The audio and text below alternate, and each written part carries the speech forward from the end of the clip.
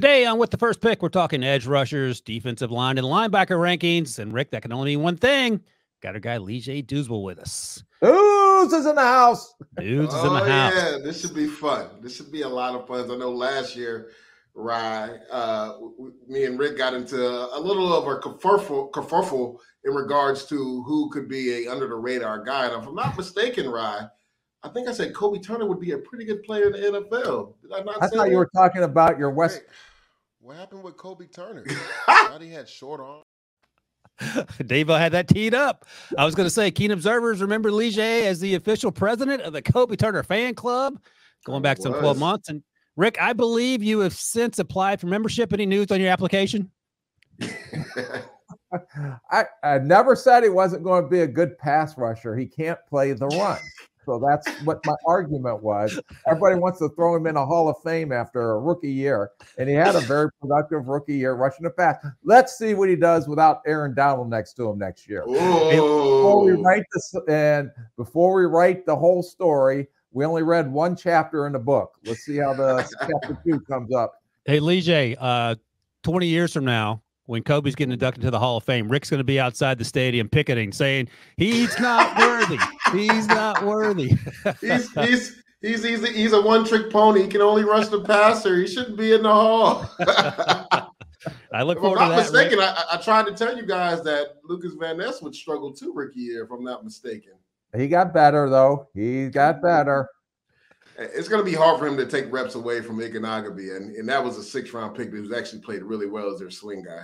He'll be better than uh, Kobie Turner by the time it's all said and done. All right. We'll, uh, we'll put a, bet. we'll put a pin in that and we'll revisit that. We're going to look forward now. Um, by the way, Well, Jay, you looked a little lighter uh, in that last little clip there. oh God! You said I did. Yeah. That's funny. All right, Rick. Let's let's stay on task here. we don't need to start hurting J's feelings two minutes into the show. Crazy. yeah, exactly. This is what I have to deal with. Imagine being on the road with them last week, J. Man. Uh, by the way, if you guys missed it, Rick and I were at, at LSU Pro Day and UNC Pro Day. You can check that out in the feed. Uh, I'm of course Rick. Uh, I'm Rick Spielman. I'm Ryan Wilson. That's Rick Spielman. This is episode 141, Rick. And before we get going here, got the L Tote board back up and operational. How many days until the 2024 NFL Draft? Hey, dudes, in case you did not know this, Mhm. there are actually 23 days until the 2024 NFL draft. It's here. It Man, it's here. crazy how quickly this thing is happening here. All right, let's talk some edge rushers, and then we'll get to the defensive linemen and and the the linebackers. And for a quick refresher, if you don't know, Lige played more than a decade in the NFL. Came out of UCF. Uh, remind me again, uh, Lige. He And was Rick cut me. He was the first young but we're all friends here as long as Rick uh, doesn't say a bad word about Kobie Turner. Let's start with the edge rushers. And Don't worry, every other guest I cut too. I've been in the business 30 some years. There's not one guy that I had come across my desk at some point in their career. That's true. You do say that. Uh, and it is not uncommon for us to be just sitting in the hotel lobby in Mobile, LA, Alabama, for example, and have someone walk up to you that you uh, at some point cut in their career and who was actually incredibly grateful for the things you did for them, not the cutting part, but the stuff prior and after that. So you're actually, despite your demeanor on the podcast, Rick, you're actually pretty well liked. Yeah. Well, I got cut like three times, so I just want to share the wealth. Hey, welcome to the party. And you know what's funny, Lee J? He said Yeah. one of the things that stuck with him is that um, when the Lions cut him, they didn't even give him a phone call. Lions, right? I was sitting in an office for two hours. No one, they said I got a slip in the old days in my locker that you were cut. And you go upstairs. I sat there for two hours. No one showed up. No one talked to me. So I just got in uh, my car and started driving back home, pissed as hell, because at least tell me if I'm not uh, good enough. That's an insane story. Yeah. Like not So even they don't even have the respect to be like, you know what? We appreciate everything you did, but we're gonna go in a different direction. We're just gonna slip you a note, and then we're not gonna show up after we slip you the note. Yeah, no, I'm like sitting there for two hours. And then I was like, yeah, maybe I'm getting promoted. Am I going to start in week one? I don't know. Hey, if you had stayed there, Rick, maybe you would have been the day one started. We will never know. it was know. a test. It was a test, Ricky. Failed Well, it. It was a mistake. Everything in life's 360. So I never knew that at that time I was going to be cutting players, but I always made sure I talked to the players, as many guys as at least they had to respect that I would tell them they were getting cut. Mm. Debo, are you gonna are you gonna hit? You gonna play the clip or not, Debo? No. Oh, he's not gonna play it. The Jake Browning clip. Remember when Jake Browning called out Rick for leaving him in the hotel room for four Yeah. hours? hmm Sure did. That was not All right. I remember getting cut there the last time and just being told like, hey, you know, we might have a spot for you on practice squad. Like, go to the hotel and wait. And so I sat in the hotel for like a couple hours, not wonder, not knowing if I had a job or not, and then just basically got called from my agent that you know they didn't even they didn't tell me. Like I had been there for two years, and you know I've been He played the extended version. Rick, go ahead. Go ahead, Rick. yes, but he did come into my office and he did say that I did not. I did talk to him, I know. and it was just the the waiting on uh, the the practice squad. And sometimes, uh, dudes, as you know, that I don't know what the practice squad is going to look at till after we see all the cuts from all the other teams, and we don't get that for an hour later. And sometimes it's three or four hour process before he can get through everything. But I did keep in contact with his agent, and I will not say my version of it because I'm not going to get in the, uh, as they say, a pissing contest with a skunk. Uh, but it it, it uh, he I always give them credit because Jake was very well liked. I, I like Jake and congratulations on what he was able to do this year and well deserved. And I'm just giving you a hard time, Rick. You are to a fault. You don't like this part. You are incredibly generous, and I I think you did things the right way. Uh, Jake Browning had a different recollection, and but to your point, you don't know what the practice squad's going to look like, and that sort of situation. I did talk to him. It was just he was sitting in a hotel waiting to see if he's on practice squad or not. They didn't even give you a hotel room. No, I was just I had my uh, car just sitting in a parking lot. Oh, yeah, it's I all no hotel to go back to. There was no practice squad back in the day. Oh, okay. Right. Used to be called the taxi squad. Were you on the taxi squad? They didn't have a taxi squad back in the day. Okay. All right, let's get to this. You know who won't be on the taxi squad or the practice squad or get cut? Dallas Turner. He's number one on our consensus big board at the edge rush position. He's number one. He, I mean, sorry, Jared versus my number one edge rusher, but again, it's one and one A. Um, Lee J, I'll come to you first. I'll, let me ask this: How do you compare if you're drafting? Uh, Rick and I talked about this at the combine. If you have to take an edge rusher, are you taking Dallas Turner or Will Anderson? I'm thinking Dallas Turner. He has more upside.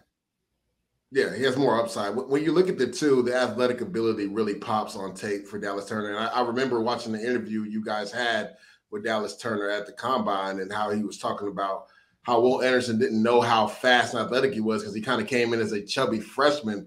Um, but you know, first of all, you know, and Rick can test this. Guys from Florida, they're they're built different, different as far as the athletic skill set. And Dallas Turner, I don't even think has scratched the surface for what he could be at the next level. Uh, I think nobody has a better long arm in regards to pass rushing in this draft. He does a really good job with that long arm. Very physical with uh, tight ends at the line of scrimmage. There will be times where Rick, you've seen it on film. He doesn't. He isn't even lined up. Right? They're still trying to decipher what defense they're in, and he'll absolutely just destroy the tight end in front of him and make a play in the backfield. So when you see that natural ability and gift, you know those gifts. You can hone those at the next level. And to me, he has the highest upside at the edge position in this draft. Rick, are you still um, Dallas over Will Anderson if you had to make that pick? Uh, if you look at them both coming out at the same time, uh, I would say, yeah, there was so, Will to me was longer, but he was not as fluid in the lower body or as athletic. And I'm not saying Will Anderson's not a good athlete because he is, uh, and he's ended up being defensive rookie of the year. Uh, but I think this kid, if you watch them both dropped in coverage, you would say that Dallas Turner almost looks linebacker like with his movements. Where I don't know if you would say the same thing for Will Anderson. Now they both can come off the edge, both rush a passer, both different styles in the way they get to the quarterback. But what doesn't matter, both both work. I just think when you look at Dallas Turner dropping in coverage some this year, that he was smoother from an athletic standpoint than when they tried to do that with Will Anderson. But they're both going to make their money rush the passer. Right. In case you're curious, uh, Dallas was almost 6'3 at the combine, 247, ran a 4'46, and then had a 40 and a half inch vertical. Uh, I think if you had any questions about the athleticism or the chubbiness, they were answered with those numbers or, or just watch him play. Uh, Lee, I'll ask you, you have a comp for, for Dallas? Yeah, I wonder what Rick thinks about this one. I, I put Chandler Jones as my comp for Oh. for Dallas Turner. Is that too long for you, Rick? No, uh, I just think uh, take off the Chandler, uh, you know, everything on a football field. I can Off the that. football, yeah. Yeah, I'm just talking about the football player. yeah. I, I looked at more of a, a little bit of a Haason Reddick, Brian Burns type guy. Uh, are the two guys that I kind of com- I always combine my uh, parables. Makes it easier.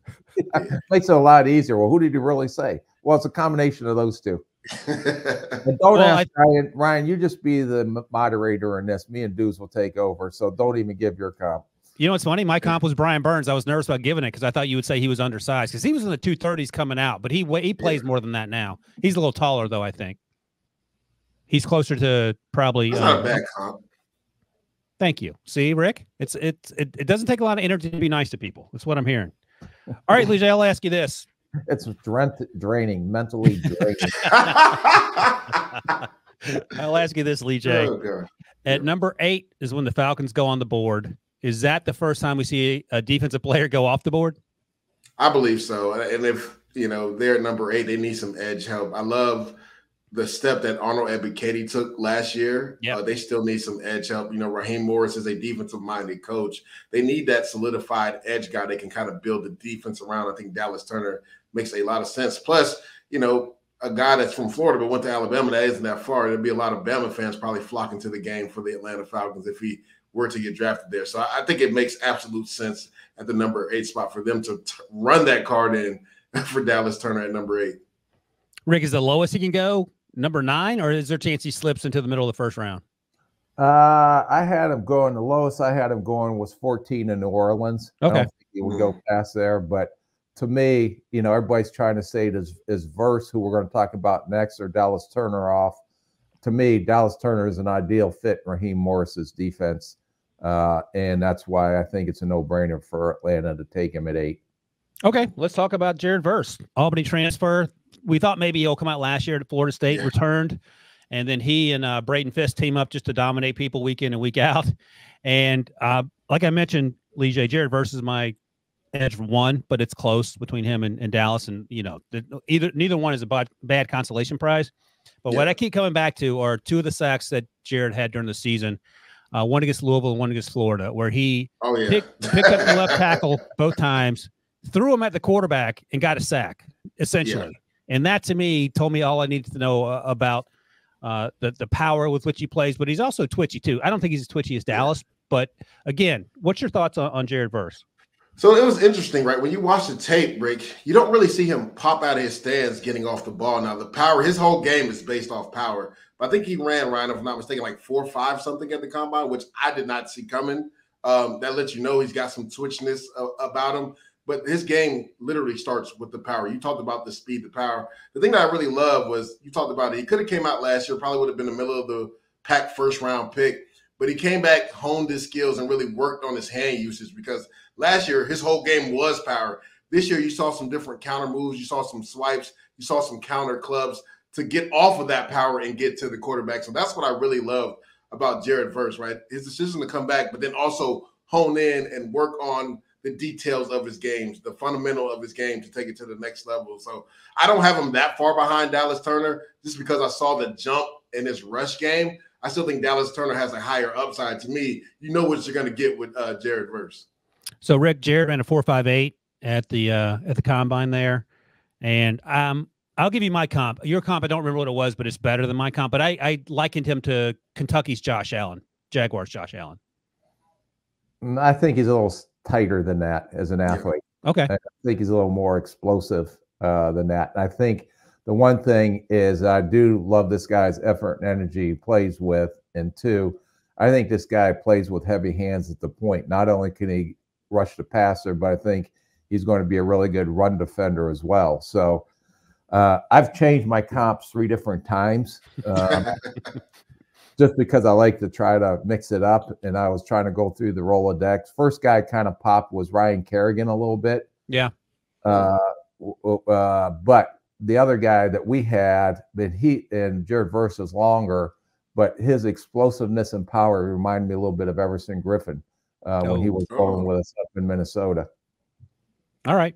Can't push back on that. Again, Rick has the unfair advantage of having uh literal team meetings on all these players. So when he has the comps, I don't have that advantage. And then he throws. I want to hear my comp. Yeah, yeah, absolutely. Rick's probably going to roll his eyes about this one, but when you talk about the explosiveness and power, I saw Khalil Mack in this game.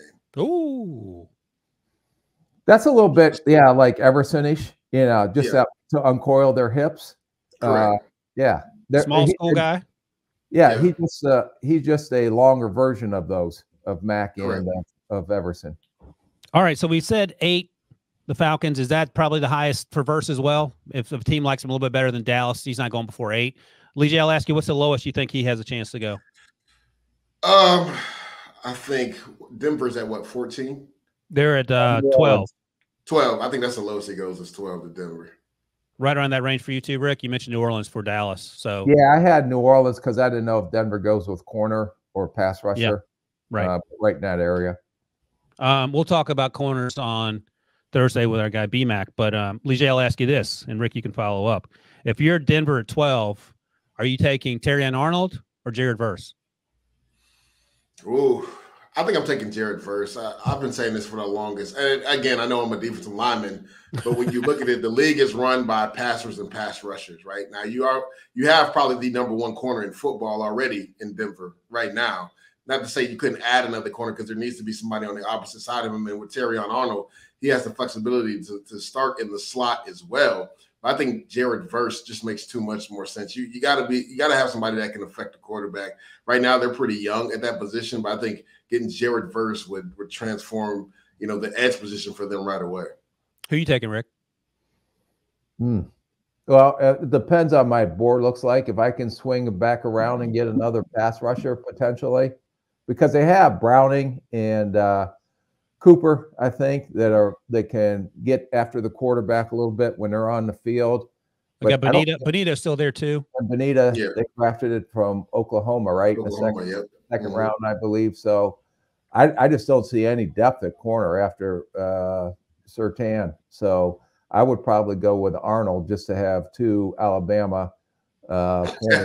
I was gonna say you can't ask him that, right? You know he's gonna go with the Alabama guy. right. And that's the other thing. And I know this is like the middle of the first round, but Rick and I have been talking about this for months now, Lee J. But this draft class, you know, you hear evaluators say I only got 20 first round grades. This draft class, I feel like you can find guys picks 40 through 55 to 60 that can come in right away and, and help your football team. Where in years past, you're sort of squinting to try to find those dudes. All right. Next up. Yeah, well, that's that's the thing, right? When, when, uh, my bad, right? I was gonna say No, that was ahead, that was the ahead. thing. Like when you look at the when you look at the edge group, I think there's a significant drop off after the first three guys, right? Um, and then you know we talk about tiers, tiers one, two, and three. But I think at corner, especially slot corner, there's great value in the second and third round, right? Like so to me, that's why I would more more so go with the edge guy, right? And then get another guy in the second and third round. And then even a guy like Khyree Jackson, who's probably going to be there in the third, makes a lot of sense. Who's going to be there in the third round? So I just think there's more depth at corner than initially thought going into this process. Yeah. Two of my favorites, Javon Bullard and Mike Sainristil are guys who are going to go on day two. Correct. Um, I heard, I was talking to some people. I heard Sainristil might go higher than a lot of people expect. I love him. I mean, I don't know if I would take him top 32, but that's the, I think he's going to go in the second round for sure. he may go That's higher. I heard. Thursday. Can you stay on task there, moderator? It's All right, let's go. Rick's got his jacket on. He's got a lunch date. he's got his he got his Olive Garden jacket on, uh, Lee J. So we got to get through this thing. He's got a got a hot lunch date. All right, next up, Laiatu Latu. Uh, Rick, I'll come to you first. We talked to him at the combine. Uh, he was a, a great kid. You, you thought he was a little nervous. I thought he handled himself pretty well. Either way, 6'4", almost 6'5", 259. Ran a 4.64. Competed at the Senior Bowl, which first two days of practice he was dominant. Uh, the last day he had his leg wrap, but he's obviously fine with that. My comp for him, just for giggles, Rick, someone you know quite well from high school. Uh, got Jermaine Johnson vibes from from Latu. He may be a little twitchier than Jermaine. Rick says absolutely not. I think he's he's more efficient with his hands than Jermaine was coming out. and, and a little smoother in the hips. All right. I- you know, I love Jermaine, so All right, Rick, give me your comp, and then you can you can uh, go in any direction you want with Laiatu. Yeah, I saw more Josh Allen in him because of the fluidity in his hips. Okay. And I saw that to me, he is the best technician out of anyone we saw as far as hand use and his ability to bend and dip through the edges of offensive tackles. Uh, I think he improved as a run blocker. I think, you know, this guy is one of the top three. I don't know how bad the neck has come out. We haven't heard anything from the combine as far as the physicals, if anyone failed him on a physical or not. But I think the guy, from a technician standpoint, we said this uh, during the fall, that was a clinic in some of the tapes that I watched. Coastal Carolina, week one, you called it a teaching tape. Yeah, I said I would put that and show every young kid how to rush a passer and how to use his hands technically the way he played against uh, Coastal Carolina. Nothing so let me ask you this, Lee It all depends yeah. on the neck injury, of course. In these Correct. mock drafts that I do, not because I don't think he's healthy, just because there's such a run on so many other positions. I have a lot Latu slipping into the 20s. How high mm. do you think mm. he'd possibly go? Now, again, we got to preface this by saying we assume Minnesota is going to package their picks to move right. up. But if they weren't, I would say the 11th spot makes a lot of sense for the Minnesota Vikings. Um, another spot, just looking at the draft board, that makes a lot of sense. The Rams, they need they need edge guy and defensive tackle. So I would even see 19 makes a lot of sense. I think the lowest he probably slips, I would say 26 to Tampa. Oh, Rick's on board with that. Yeah. Yeah. I, I, mean, when you look at him, you talk about the medical ride. If it wasn't for that, he'd probably be my edge two, maybe even one, because Ooh. he's that efficient with his hand usage. Yeah. It's rare that you see a guy that polished coming out of college where I'm not saying you don't have to coach him, but on third down, you're like, just go get him. Just like, like that's what he does. Go get him. I really love the battle between him and Taliese uh, Fuaga at the Senior Bowl. Them going back and forth was really good. And the thing about him, his motor, he just never stops with his hand. And, and, and Rick, you know this. Good pass rushers never stop their feet, and they just have an arsenal of moves. And he just comes at you in waves. Like he never stops. As soon as you think you have him blocked, he hits you with another counter. Like again, if it wasn't the medical wasn't a question, he might be my edge number one. The the thing that I'll say, Ryan, is that out of all these guys, I think it and it's a veteran pass rush plan, if that makes sense. Mm. Is that he knows how to set up an offensive tackle. If he's going to yeah. do this, he has a plan on how I'm going to get at him the next time and show him something different. Some guys just know speed to power, and that's what they're going to do and try to beat you every time. This guy actually with his technique, I think he has a pass rush plan every time he's going against. And I think he used one move to set up another move that he's going to beat him with, if that makes sense. And by the way, uh, if you have any questions about Caleb Williams being the first overall pick, go watch him navigate that last game of, the, of his career against UCLA when my goodness that offensive line chose violence against Caleb by not blocking, and he was he was doing some things that very few people can do. And Latu was, you know, that that defense is, is pretty good at UCLA, led by uh, Latu. And another guy we're going to talk about here that we talked about in the fall, Rick, his running mate number fifteen, Gabe uh, Gabe Murphy. Man, I'm a big Gabe Gabe Gabriel Murphy fan. Rick told me he hated him because I liked him. That's what I. Re- well,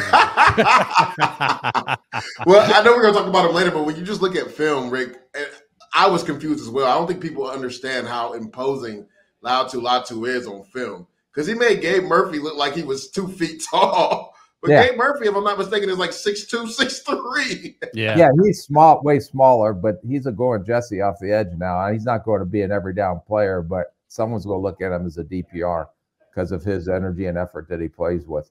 Yeah. Yep, 6'2", 247. Ran a four six eight. Gabe Murphy did, and Rick doesn't hate him. I'm just giving you guys a hard time. You can go back and listen to the show. He actually liked him a little bit. All right, next up, Chop Robinson. And uh, the issue with Chop Lige when we watched him in the fall was how big was he going to be? He was plenty big when he got to the combine, and then the question becomes: Does that trans? Can he keep that weight on? Assuming he gained some weight, he was almost 6'3", 254, ran the four four eight, um, 34 and a half inch vertical.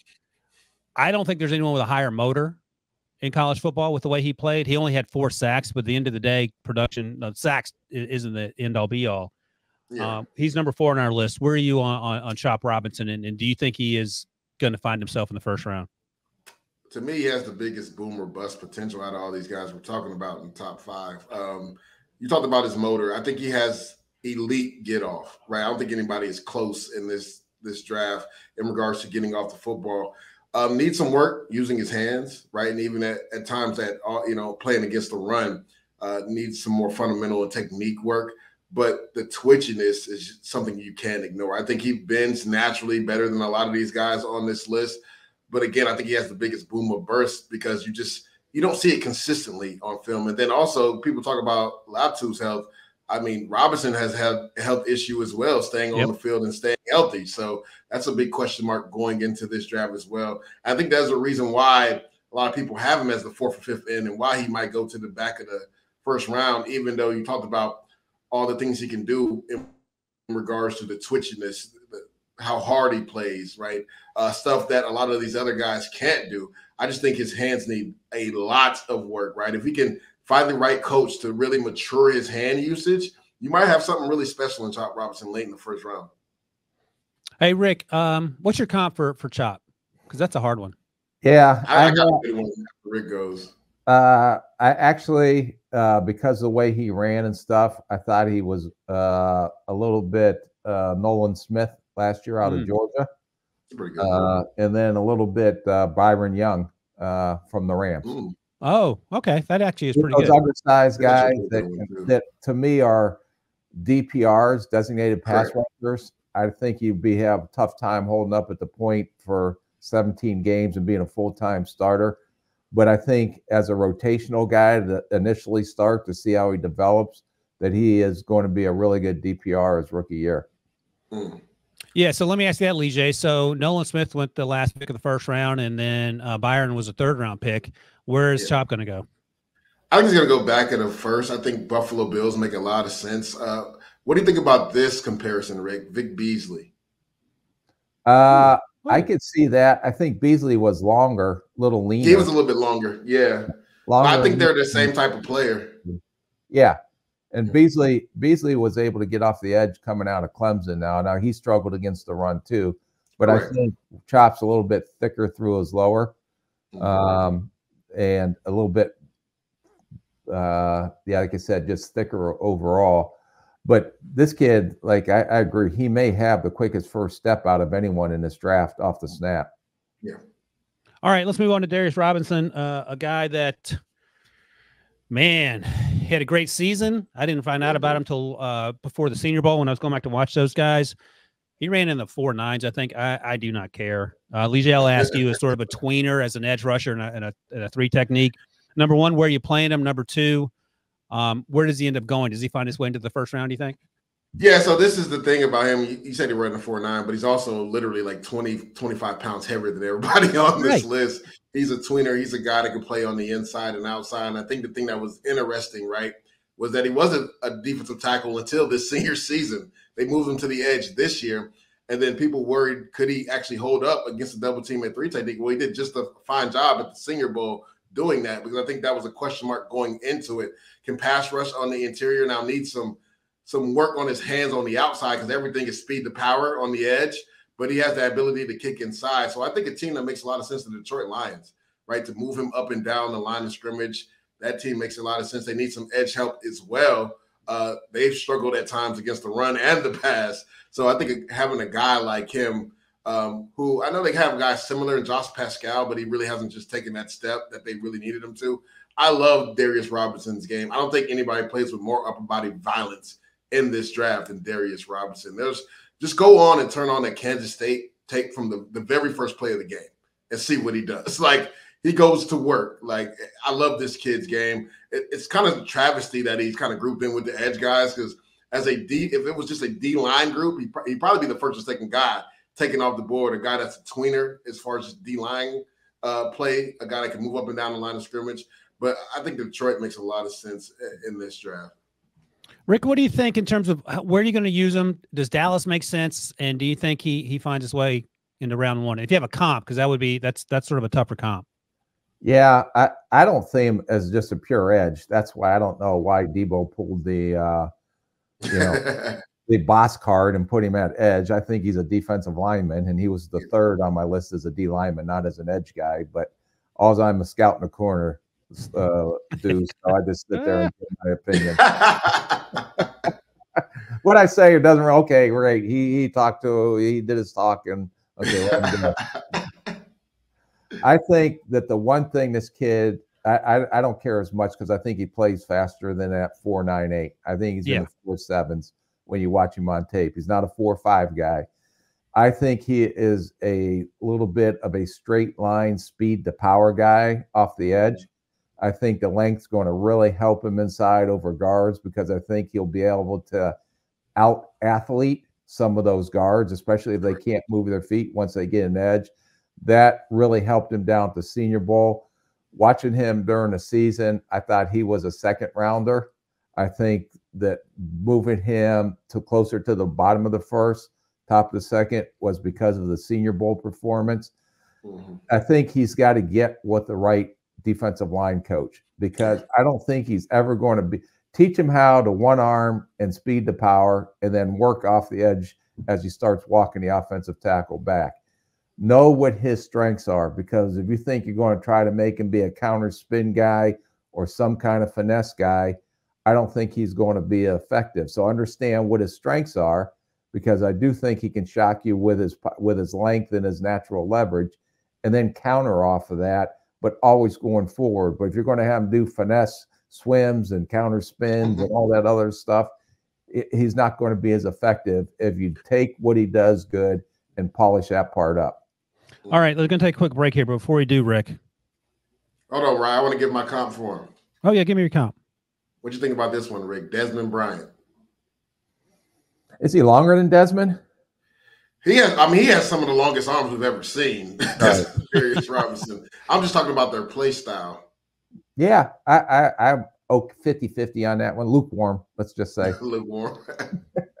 My Right. comp, you know, who my comp was Yeah, here's your comp. uh, a little bit uh, Keion White from Georgia Tech last year, That yeah, because Keion was heavier. I think Keion Right. ran a little better, but, but he was straight. I think line- Darius yeah. is a better football player. yeah, I like that. All right, Rick, I'm gonna ask you this question. Then we're gonna take a break, and then we're gonna speed things up here because you got to get to Golden Corral, and and Lee's got a podcast to do in a second. Red. Lobster. Thank you. Red Lobster. I've got my bib. I brought my bib from last time I ate there. oh my god. So let's say you're the Detroit Lions at 29, and Chop Robinson and Darius Robinson are on the board. Which Robinson are you taking? I'm going with Chop. Oh, okay. You're just gonna put him off Aidan and, and get after it. Put him opposite Aidan and get after it. They All need right. another pass rusher, and I think Chop's got more, a little more. He's got more juice as an edge rusher. Yeah, Not that fair he enough. Doesn't have juice, but And like I said, I don't James know if there's anyone with a with with a the first step quickness in this draft like Chop has coming off the edge. Okay. All right. Let's take a quick break. When we come back, we're gonna hit the defensive line. Lee's sweet spot right after this. It's time for the madness. And CBS Sports HQ has your wall-to-wall NCAA tournament coverage. We got your game highlights, expert analysis, and insights all the way to the Final Four. Start and end your March Madness coverage with CBS Sports HQ. All right, Lee we're talking. We're in your neck of the woods now. We're talking defensive line, and I'm gonna put our number one and number two guys together, and then I want you to. I want you to tell me the difference because I don't know how big a difference there is between Byron Murphy, the second out of Texas, and Johnny Newton out of Illinois. Because here's the thing, man. You watch Johnny Newton earlier in the season, you're like, okay, this guy has it. And then you get caught up in Byron Murphy. You're like, okay, he's clearly the best. I don't know that there's a huge difference. There isn't, right? We literally, I called you the other day to talk about this very exact conversation. Um, because remember at the Senior Bowl, I was more high on Johnny Newton, right? And then after breaking down Byron Murphy's film, I was like, nah, I gotta put Byron at number one. But then I literally, Rick, I literally called Ryan like two days ago, rewatching Johnny Newton. I was like, dude, it's 1A, 1B. Like it's that close. I mean, when you look at Byron Murphy, the twitchiness kind of reminds me of Ed Oliver, is is his ability to wreck things in the backfield, right? And we talked about this too, Ryan. Maybe Rick can, can give an explanation. Why do coaches put their best players not in positions to make plays? You got T'Vondre Sweat, who's 362 pounds, but yet you put Byron Murphy at the zero technique, head up over the center. Make it make sense to me. Get this guy on the edge and let him go to work on offensive guards and centers. Uh, but the crazy thing is, Byron Murphy's that good.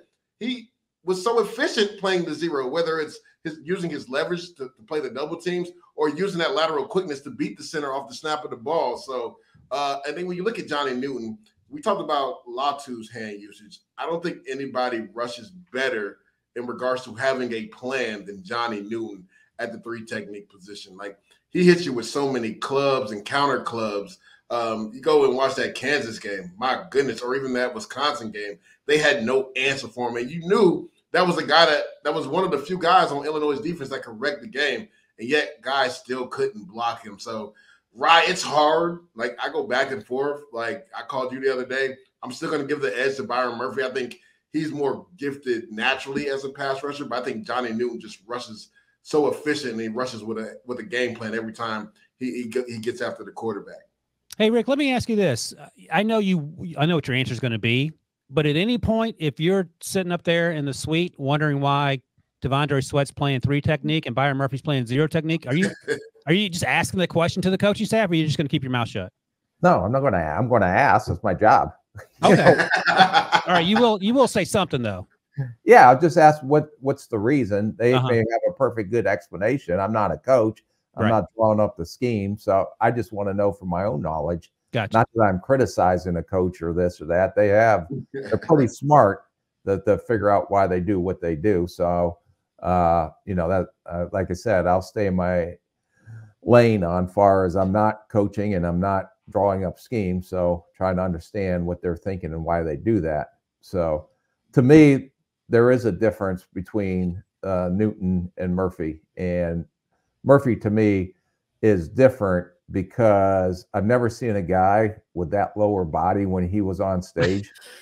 I mean, from his Oh my goodness. his thighs through his calves were as thick and as developed as I've ever seen. And you can see why he's so explosive and quick twitch. And I mm-hmm. think there is a difference. And I'm not saying Newton isn't quick twitch, but the one thing that when you're trying to separate these guys that really stuck out to me on tape is when I seen Byron Murphy play versus the run, and he can bend and dip and stand up oh, big offensive linemen. I think Newton gets swallowed up a little bit, especially versus those combo double teams Correct. where this kid stays square to the line of scrimmage. He is under everybody's pads, and they're not moving this kid. And then you add in the pass rush. To me, that was the difference between the two. And Leja, you know what's funny? And uh, I asked Byron at the combine when we had him on set, and Rick was staring at his calves. I said, "Is there anyone that you struggle with uh, in the Big 12? He goes, "No, I didn't struggle with anyone. Cooper Beebe did a pretty good job, but I didn't struggle with anybody." And and he was right. The attitude. Yeah, Love he- the You, attitude. you know, uh, dudes, when they, you know, you have that top. I mean, this kid, it almost like he drops one knee. You know, it's Well, like, yeah. and then stands everybody straight up, and then he comes out of that. Yeah. I just thought that's rare to see that guy's bend and flexibility through his lower body and how developed and thick it is, Yeah. and then exploding out of that. To me, that's the difference between these two. Yeah, and I would agree with that. And I think the play that comes to mind is the Alabama play, right? When he's actually at the zero nose and he gets the combo block from the guard center. He literally, like you said, gets on one knee, has great leverage, is able to flip his hip, split that, and make a tackle for loss. And I was like, yo, this dude's out of this world. And then you talk about the explosive ability to not only do that and hold up against the point of attack, but to rush the passer. Like, so yeah, that's why I say it goes back and forth for me, but Byron is my number one guy. So, Rick, let me ask you this, and Lee J, I want to hear your thoughts. Uh, at Yep. eight nine, Atlanta, Chicago, is there a chance Byron Murphy's the first defensive player off the board if he's that I don't special? think I don't think they take him that high just because I like the defensive tackles the young Chicago uh, Bears took last year in the second and third round. yeah, and Gervon and Zacch Grady- Pickens. Correct, and then you know Grady Jarrett is still out there, and I think they got Amu, uh, Amunat David Onyemata still for the Yep. Atlanta Falcons. So I don't think it makes sense for the Atlanta Falcons and, the Chicago Bears. They both need edge help. I think when you look at Byron Murphy, the latest or earliest he could go, looking at this list, 16 to Seattle makes a lot of sense. Obviously, the Rams at 19 for Byron Murphy after losing Aaron Donald makes a lot of sense as well. Um, and then even you can go to Minnesota at 23, which they're probably used to trade up. So Rick, no chance that Byron's the first defensive guy. No, All right. No. All right. I'm going to group uh, our third, fourth, and, and fifth guys together, and we can talk about them. Um, but just so we can get through this thing, everyone's America's defensive tackle, Hey, Braden Fiske. we because I worked my arse off on comparables. Oh yeah, give us your comp, Rick. okay, go ahead. So For let's do these two. For both players, let's go. Yeah. Okay. For Murph, I had Grady Jackson or Let's Grady talk about Garrett. Grady, Grady Jarrett. Jared, And Grady then- Jackson was on Sanford, son. Yeah. yeah. Shady Grady. oh my goodness. Grady Uh, Jarrett, and who'd you have for uh, Johnny? uh, I had, and we drafted him, Sharrif Floyd. Mm, Oh. That's actually a pretty good comparison. Again, that's another cheat comparison, but I'll give it to you. You paid two hundred thousand dollars for the the back work on that. I, I paid twenty seven cents to get my comp, so you you, you did good on those. It's a little bit more than two hundred thousand dollars, but Rick, Rick with the flex there, Lige. All right, look, here's the thing. Uh, so Braden Fiske is our number three. Everyone on planet Earth loves Braden Fiske. Ruke Orhorhoro out of Clemson's number four, and then T'Vondre Sweat, who we just talked about. Rick, let's start here so we don't cheat you out of it. I want to know who your comp is for Braden Fiske, and then we'll talk about him a little bit. okay, uh, dudes. Just so you know, I don't. I've had this in my room. Don't compare white guys to white guys. That's a rule. Yeah, that's a rule. Yeah, you can't do that.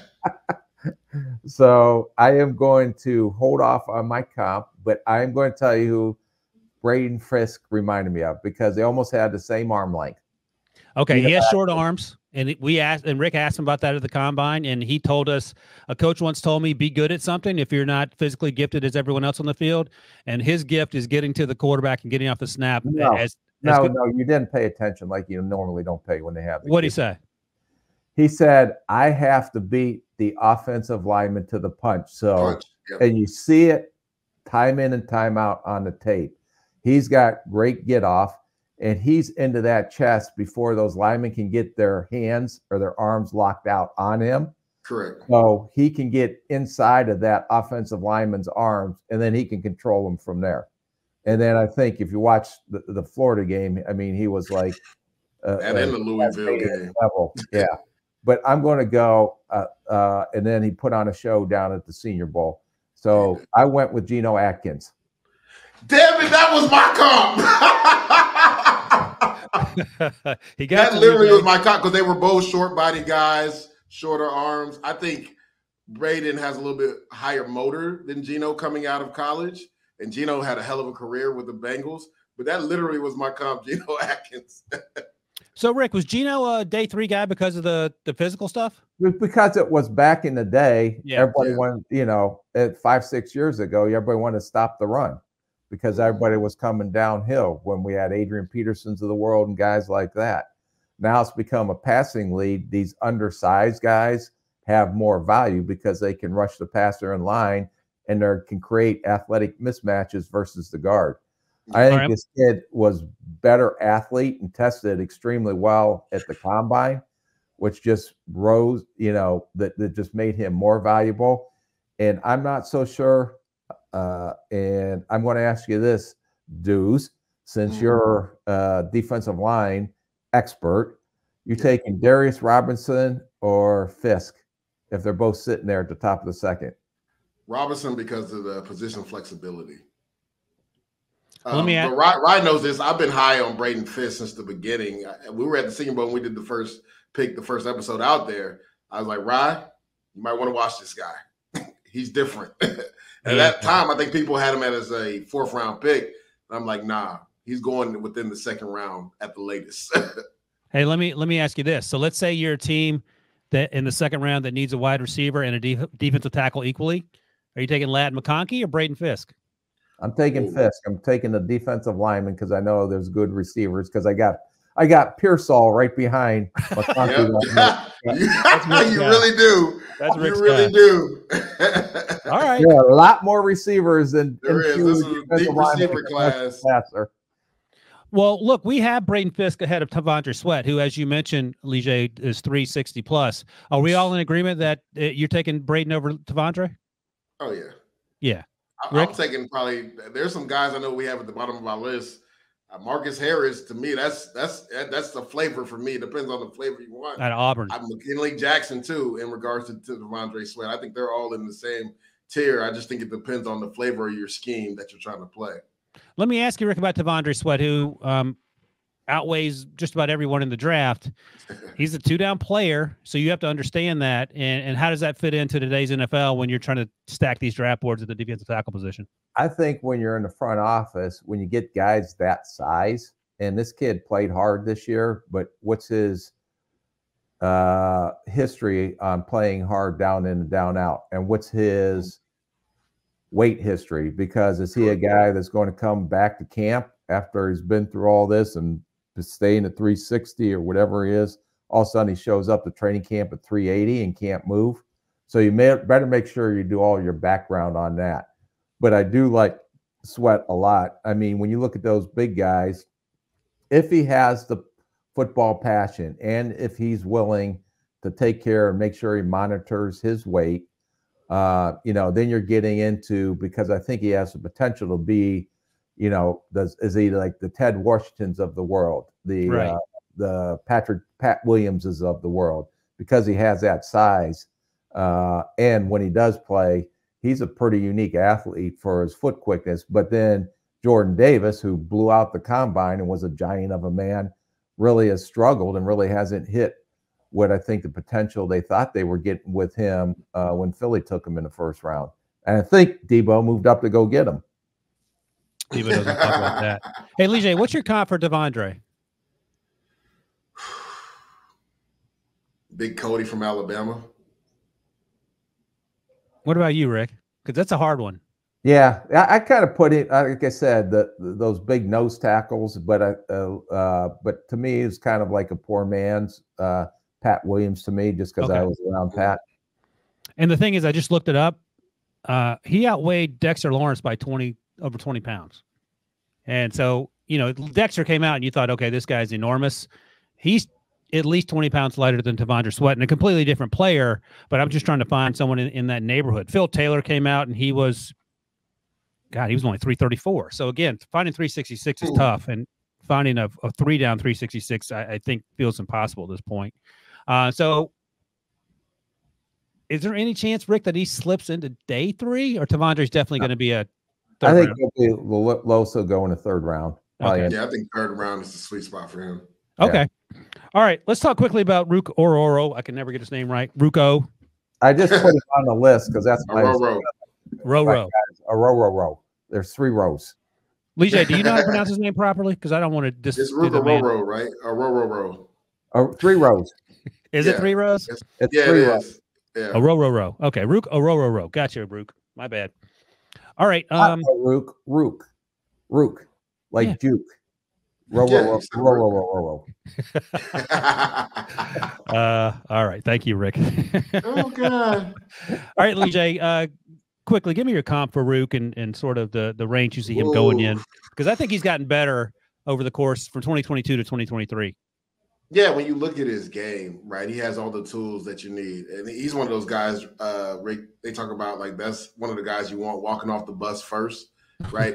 This this guy's chiseled up now and, and plays with good strength, has pass rush ability. I think at times, Rick, when you watch him on film, I think he gets in too many personal battles instead of actually just making the play, right? But you love the aggressive nature that he has. Uh, I've been going back and forth with his comp. I'm trying to think of a, a guy that um, that he kind of reminds me of. I mean, I, the way he's he's chiseled up, it- there's not too many D tackles that look like that coming out. So, um, who's a good comp for him? Rick, you want to go ahead while Lee Yeah, thinks I'll because you let did the homework? Think for a second. Yeah. yeah. I think there's just so much upside. Remember, this kid only played two years of high school football, and I Mm. think we watched him in you know in our summer school last year, and he took another jump this year. Right. I think his instincts are getting better at the position. Uh, I think he's more productive, but you can't, like Du said, you can't draw a guy up uh, and like this guy looks. And I think his athleticism jumps off the tape too. It's just, will the dots all connect when he gets to the NFL level? Will A connect to B to C? Because sometimes he goes from A to C without connecting to B first, just from whether it's a lack of play time or not playing a lot of football till he got to college. Uh, but the one thing that I always looked at, if it is an instinctual issue, I don't think that's coachable. But if he's improving every year, which I think this kid has, then I think he'll continue to have a high ceiling. Some defensive line coach is going to love getting a hold of this kid. And he may be a rotational guy early in his career, but if they can hit this untapped potential, and if it's not an instinctual thing, which I'm guessing it's not, because I do think he makes some plays off of instincts. I think he's got a really good combination of being able to play the run and rush the passer, but he's a ways away from everybody else. But I do think his ceiling is very high. I had a comp of David Onyemata. Mm, Okay. it's actually a pretty good comp. Yeah, and and looking at my notes and just trying to refresh my memory here, uh, I wrote that uh, consistent was the best word best word word to describe his game against the run. I thought he was consistently moving guys off the ball, and, and his pass rush is um, not quite up to that. But to your point, Rick, that's why you have coaching, and that's why when you're new to football, newish to football, there's there's room for growth. All right, day two guy, Yes. done and done. All right. I'll miss. Uh, I'll mention quickly some some uh, defensive tackles that missed a cut, and then we'll take a break and get to these linebackers here. DeWayne Carter out of Duke, um, Marcus Harris out of Auburn. I know me and Lee have talked about him. McKinley Jackson out of Texas A&M. Michael Hall Jr., who might be one of the twitchiest interior defensive linemen. He's just undersized, at least when he gets high in, in his in his pad level. And Rick, I'll give you Lee under the radar guy, and he thought you might not like him until he realized where this young man went to school, Justin Eboigbe. Ah, my favorite. I told you, Lee J. I told oh my god, that's hilarious. All right, let's take Yeah, a I quick break. We'll come back. We'll talk with these linebackers real quick right after this. The PGA Tour returns with the RBC Heritage, April 20th on CBS and streaming on Paramount Plus. All right, linebacker time. Feels like with the running backs, the linebackers have also been devalued in terms of uh, first round picks. Last year, Jack Campbell obviously went in the first round. Um, but we see these guys go on day two, even day three, even Ivan Pace Jr. undrafted, who end up starting and being impact players depending on when they land. Our linebacker one is Edge Cooper out of Texas A&M. But I'll ask you this, Lee J. If if Payton Wilson at NC State was 21 years old and no injury history, would he be your linebacker one? No, Cooper would still be my guy. Oh, okay. I mean, okay, when you, good. When you look at the film, uh, Rick, just turn on that Alabama film. There's going to be some first round picks on that on that tape. He was the best player on that field that day. I don't even think it was close. I don't think any linebacker in this draft diagnoses and hits it as fast as he does. And you talk about the physical nature and speed. They used him literally, Rick, as a spy that game. People don't realize how fast Jalen Milrow was. He didn't look fast that game because of Edgerrin Cooper, man. So to me, I don't care if Payton Willis was 20 years old. Wilson was 20 years old.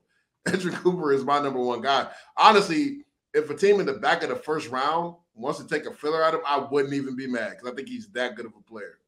Do you have a comp? Because these the the the the physical nature of that position has changed in terms of there's Yeah. no more Ray Lewis's out there. There's more Roquan Smiths, Patrick Queen types. Well, that that was my comp, Roquan Smith. That works. Uh, Rick, would you be shocked at all if we saw Edge make his way into the back half of the first round? Yeah, because linebackers aren't going to go in the back half. They're going to take the pass rushers or all uh, these defensive linemen or Well, Jack Jack went in the I would first round. Jack though. Gamble did. Yeah, I'm not saying that they don't go. I'm just saying it's a rarity. I did, this kid to me, when he hits you, he's one of the few that knock running backs on their back when he comes up and smacks you in the hole. And the one thing that I think he's underrated a little bit is as a blitzer. Off the edge or through the A gap, this guy affects the quarterback when they send him on blitzes. So this was my favorite guy, one of my just good football player guys. I know he's athletic and all that, but this guy was hard to turn off the tape because he was so fun to watch. And I agree. I saw the first game I saw was that Alabama game, and it was uh, he put a show on. So uh, my comp was Nick Bolton from Mm, uh, that's pretty good comp. Kansas Kansas City. That's a juiced up young man too. Who he's a guy who, when you watch him in Missouri, you're like, why is no one talking about him? And maybe it's because of the position he plays. Maybe that position has been devalued, but it wasn't surprised when I think he ended up being a second round pick, if I recall Second correctly. yeah. Yeah, and he's lived up to that for sure. Um, I'll ask you the same question, Rick, and then you can go right into your Payton Wilson conversation. Would you take Payton over Edge if they were same age, same health, all that other stuff? Absolutely not. Okay. So I'm talking about Rick.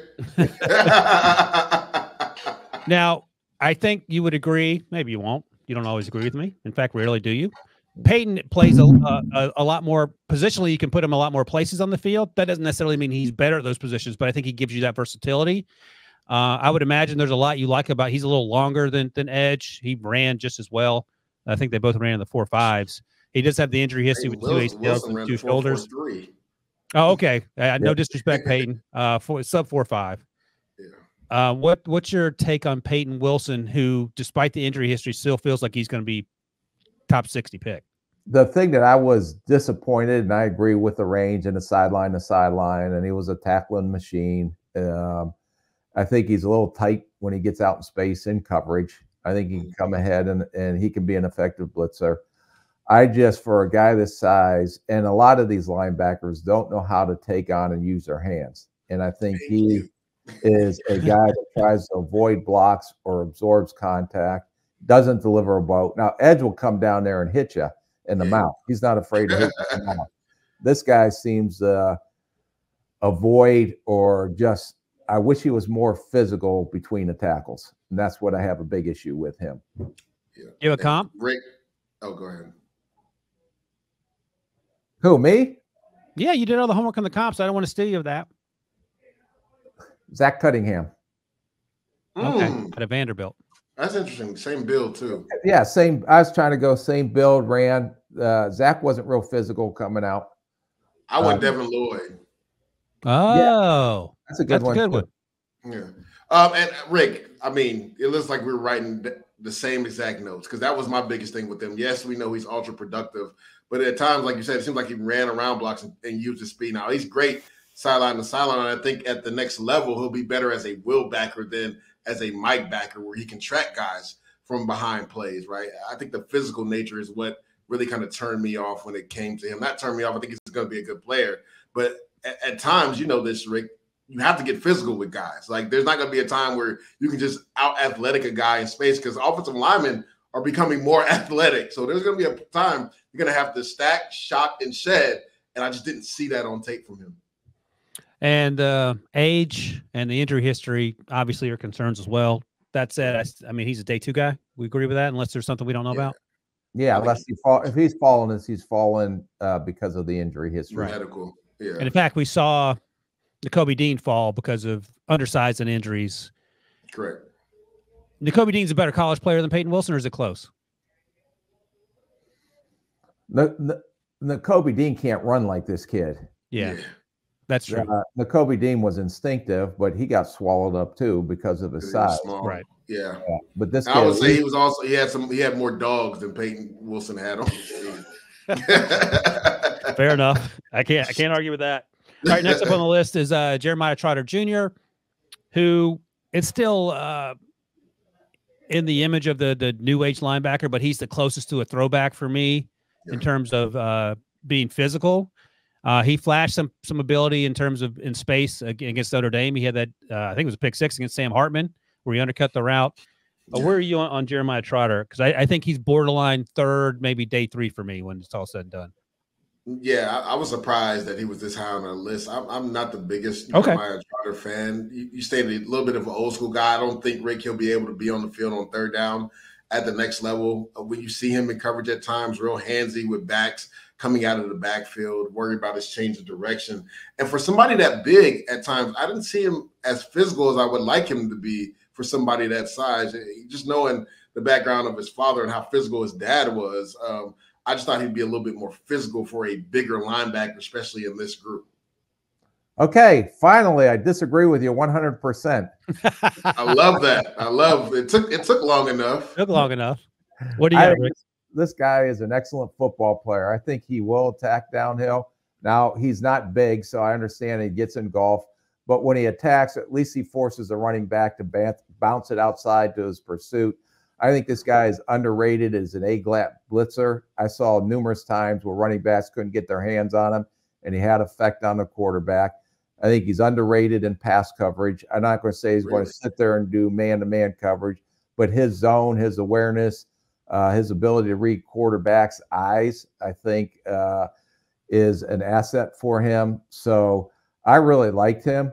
I think this guy, when I watched him, and was Eric Kendricks to me, who was about Jeez. the same size when he came out. That's high praise. That's A a, lot bit. of high praise. and a little bit Ivan Pace Jr. So those are the two. Uh, I think Ivan's more physical than him. this kid, I yeah, I thought this kid was way more physical than coming downhill and hitting than than uh, our North Carolina State flash that we talked about. Oh yeah, I don't even think that's the, Oh, that's disrespectful to the. Wilson family, but okay. No, Uh, I- I- we're I not think saying that's the reason why saying- Cedric Gray isn't on this list too. who? Cedric Gray, who we because saw of last the week lack at of Hill. physicality. Yeah, I'll say this though, Lige. Um, I'm glad that Rick's come around on the undersized linebackers because he he was not a big Ivan Pace guy. Oh my God! We Oh no, he actually that, that's the one thing I will give Rick credit for. That was the one undersized guy he really loved. I re- loved him last year. Ryan lies about my uh, opinions. That was the one last- Oh, undersized wait. guy right he actually loved. You did like Ivan Pace? oh, he loved Are you kidding me? That Oh, I, was apo- my- I apologize. I Pris- uh, Prisco's uh, filled my head with all the the lies that I'd start to that believe. wasn't Prisco. No, that was- was that was the one because I remember we did the linebacker. That was the guy he chose for under the radar guy. That was. Oh, gonna- good. All right. I apologize, Rick. Rick was an Ivan Pace Jr. guy. Good. That makes it feel better. Oh my god, I got to go back on my record and re re re correcting it. I know. You got to hire a PR firm to set the record straight. All right. This next guy's on our list, and I I love this dude, Tyrice Knight out of UTEP. And it's another another one of those situations. Uh, Leisha, I can't remember. Was he at the Senior Bowl? I get at this point in the process, I can't. Tyrice Knight, yeah, from Yeah. UTEP, he was there. Yeah. So I watched him before the Senior Bowl. I was like, all right, who is this guy flying all over the place? And um, it was Tyrice White, right? And uh, I, I think, again, it's hard to tell with these off-ball linebackers where teams have them stacked just because of the positional value. Um, but at 6'0", 233, he's right in the range of what we see. And I, I thought he was a, a, a thumper for that size. I thought he showed some ability in space. Um, what'd you think about him, Lige, when you watched I him? love, I love, I love this film. I mean, this guy plays with his hair on fire. I think he's really good in zone coverage. Um, my comp for him, and tell me what you think, Rick, is a guy that Kansas City Chiefs just lost in Willie Gay, right? When Ah. you talk about Yeah. the speed, the speed that he plays with, and to your point, Ryan, he's not the biggest guy. He's like two thirty three, which is actually about where guys are at now, but looks a little slender than that on tape. But he's physical, man. He's physical, A- a- and again, it's like he has a need to get to the football, and that's what I really loved about his game. I uh, I just did the Arizona game on him. I got to go back and watch more tape on him, but I That was the wasn't. game. yep. Yeah, wasn't like. I think he's a Saturday guy at best How come? Really. because I think he's like a, uh blind dog in a butcher shop. That's pretty good. Blind dog in a butcher shop. I got to start using that one. Yeah, he's like running. I mean, I love his enthusiasm. He's a hitter. He runs all over the place, but he's like a blind dog in a butcher shop sometimes. Uh, he's just going. Sometimes he doesn't know what the plan is. He's just going and chasing whatever scent he has on him. Sometimes it's good, sometimes it's bad. Oh So, my um, Translation is he, he plays out of control sometimes, even though he's playing with his hair on fire. Uh, he's uh, plays with his hair on fire, but I don't know. Sometimes it looked like he was born on Wednesday and looking both ways for the weekend. Rick brought out the joke book for this one, Lee All right, so you think he's a Saturday goodness. guy? Guy, I thought he was a, a late day two guy just because of the athleticism and the the uh, hair on fireness with which he played. But you're you're not quite as high on him. You would No. take Jeremiah Trotter all day long over him. Yes, and I'm betting a dollar on that one, Debo, that this kid doesn't go this Ooh. Saturday. Uh, oh, that's like I feel like an easy dollar. I'm I'm trying to. I to. mean, you're sitting here like building him up like Dick Butkus 25. is called him Dick Butkus. This isn't a strong linebacker group. Rick likes he likes making these easy bet, bets, and then he tries I to would make me love feel to bad. see how Rick feels about our, our, our guy from Missouri, though, Ryan. Oh my God. If he ever learned, I didn't know he played with arms. what? All right, did you Harper have you definitely plays with his hands now. You tripping? No, watch the Georgia game. Rick? Are you talking about Ty'Ron Hopper? Yeah. Yeah. Oh, you're not a Ty'Ron Hopper fan? Oh, No. not at all. I knew he wouldn't be though. Oh, okay. All right. Well, he's not number five on our list. He he didn't make the cut because Rick gave him a, such a low grade. Uh, so me and Legion have to circle back on Ty'Ron Hopper. But let's talk about Junior Colson, uh, another smallish He's hair on not fire that type. small, he's 240. Is he? Yeah, he's no, he's check. big. Oh, he is big. Okay, 6'2", my bad. 240. What do you call him? Small. He's 6'2", 238. Um, hasn't run yet. Didn't run at his pro day, so we don't know how fast he is. But uh, he plays fast. He's only 21 years old. Yeah, my apologies. He's he's 238, so he's on the bigger side of these linebackers. But he's a good athlete. Um, I thought he moved well in space, and um, he feels like another guy that sort of these new age linebackers we've been talking about. And uh, Rick, I'll start with you. What's your comp for him? And was he did he sneak into your top five, or did he get there by the uh, aggregate with the first pick rankings? Uh, he got no. He was uh actually, I had him right above Peyton Wilson, so I like this kid a little bit. Okay, all right. I think he is a jack of all trades, master of none. He's good at everything, but he's not exceptional at one thing. I think he's instinctive versus the run. I think he has sideline to sideline range. I think he can sift through trash and find the ball. I think he's aware in zone coverage. I think he's a good enough blitzer. I think he does everything good. I just don't think he's an exception or something that just says, wow, I, I can't believe I just saw that on tape. But I think this guy is a good, solid, marginal type starter in the league, if that makes sense. So let me give you my comp, uh, Lige, since Rick's always already spoken. Are you going to give your comp real quick, Rick, and I'll give Go mine. ahead. I, I want to hear this one. Uh, this is I'm just going back and looking at my notes, and uh, I, I like Junior Colson. He reminded me in terms of his uh, the the spirit in which he played of Azeez Al-Shaair. Mm.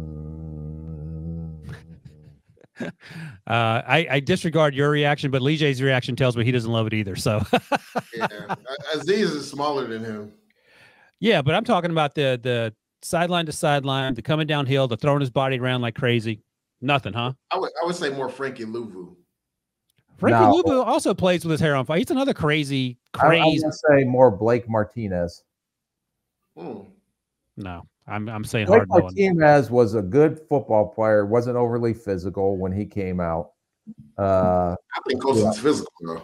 I do too. I think I think he's a You little more. don't think physical. Colson's physical? I think he will step up and take on blocks. I just didn't see the same explosion as when Ed came up and hit you. Yeah. Yeah. Fair enough. Oh yeah. Yeah, yeah, I'll give you that for sure. So, but I'm not saying he doesn't step up, and at least he uses his hands, not like uh, Hooper, who uh, refuses to use his hands. Hopper. Hopper. Hopper. it is. oh, Ty'Ron catching strays. All right, Lige, tell me about uh, tell me about Colson. What do you think? Yeah, I I love his instincts. I thought uh, Rick made a really good point. He does everything really well. I don't know if he does anything exceptional. I think he's a really good blitzer as well. And I think he was more physical than Blake Martinez coming out. Now he played it with that cast on his hand, so I think a lot of times that hurt him in regards to the, the shock and said of it. But I never saw him turn anything down. I No. think he's an underrated zone coverage guy as well. And a guy that we're actually high on to pivot this uh, was his teammate that we know Rick isn't high on, and Michael Barrett. I, I loved his tape as well too. I think he's a he's a smaller linebacker, but he played with his hair on fire, and they even used him to rush off the edge. But uh, I, I think Colson goes in you know third round. It's interesting because I like Braiden McGregor a little better than Barrett uh, playing off the edge. Uh, I think McGregor's incredibly raw, number seventeen, and Yeah. I don't. I mean, he may end up being a day three pick. I, I didn't love Barrett either, but um, that's a conversation for another time. Anything else you want to add, Rick? Ugh. That's what Rick wanted to add. yeah, you know he's like shorter linebackers. He, he, Not he- on except Colson. I do like I do like Colson as a football player. He is just a good, solid, steady Eddie football player. All right. Fair enough. Oh, by the way, I'm, I misspoke. I'm thinking of Harrell. Harrell is the edge rusher opposite. yeah, Braden Harrell. Yeah, Barrett's Yeah. the linebacker that was next to Colson. That's right. And I had um I had Michael Barrett graded as a day three guy. So I like Colson a little better than than Barrett as well. So I take that back. All right. That is it. Episode 141 in the books, Rick. Thanks to Lige for joining us. Thanks as always to my guy Rick, who uh, as you may know, got got sunburn. So if you're watching on YouTube, enjoy that. and thanks to Devo for producing. And thanks to all you guys who watch and listen. We'll be back uh, Wednesday